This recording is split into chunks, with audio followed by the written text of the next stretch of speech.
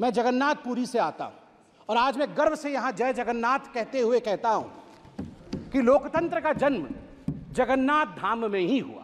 मैं बताऊँगा, वैज्ञानिक दृष्टिकोण से बताऊँगा क्यों हुआ। लोकतंत्र का जन्मदाता जगन्नाथ धाम है। जगन्नाथ मंदिर ने कलिंग के समय लोकतंत्र स्थापित किया। कलिंग अंग बंग कलिंग कहा जाता है। कलिंग के नरेश, कलिंग के राजा, कलिंग के सब कुछ भगवान जगन्नाथ है। वो तो जगत के नाथ हैं, वो तो ब्रह्मांड के नाथ हैं। मगर कलिंग में हम मानते हैं कि हमारे सर्वे सर्वा नारायण स्वयं हैं, जगन्नाथ है। वो रत्न सिंहासन पर बैठते हैं।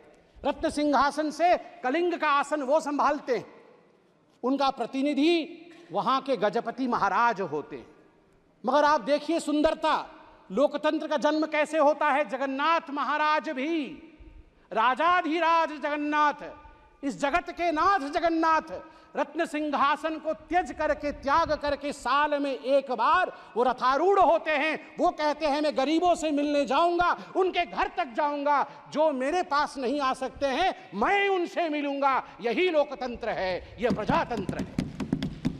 और जब रत्न सिंहासन त्याग करके, त्यज करके जगन्नाथ रथारूढ़ होते हैं, रथ पर आते हैं तो गजपति महाराज, उड़ीसा के जो महाराज हैं वो अपने हाथ में झाड़ू लेकर खुद जगन्नाथ के आगे झाड़ू चलाते हैं। उस दिन वो सफ़ाई कर्मचारी बन जाते हैं और गर्व के साथ मैं उत्कड़ पुत्र उड़ीसा का निवासी कह सकता हूँ। इसी कारण से उड़ीसा में जाति प्रथा नहीं है। क्योंकि हमारे राजा को झाड़ू पकड़ना पड़ता है।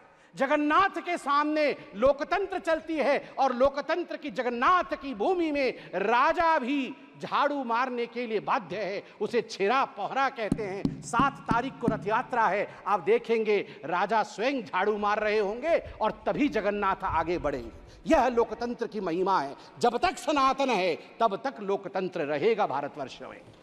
हेलो टेन्थ एग्जामिनीज ଆପଣମାନେ ଏମିତି ଏକ ସ୍କୁଲ ଖୋଜୁଛନ୍ତି କି ଯେଉଁଠି ଇଣ୍ଟିଗ୍ରେଟେଡ୍ କୋଚିଂ ପାଇପାରିବେ ତେବେ ଟିଏସ୍ସି ଗୁରୁକୁଲେ ଯୋଗ ଦିଅନ୍ତୁ ଯାହା ଏକାଡେମିକ୍ ଲର୍ଣ୍ଣିଂ ପାର୍ଟନର ଫିଜିକ୍ସ ବାଲା ସହିତ ଅନୁମୋଦିତ call nine four three eight seven eight two zero two zero